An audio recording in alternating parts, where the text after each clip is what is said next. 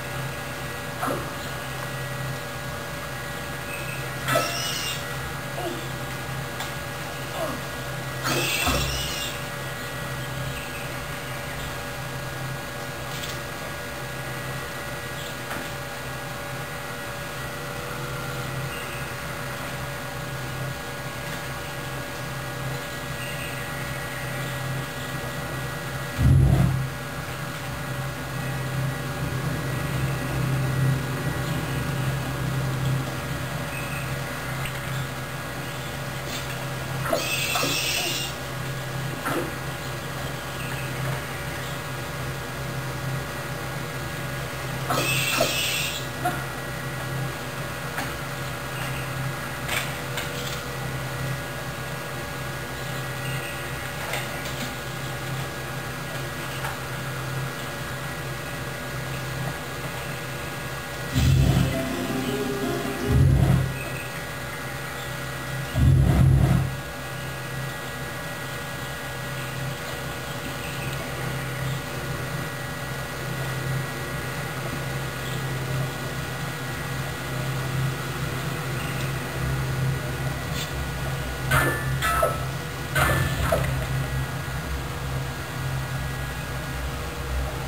Bye.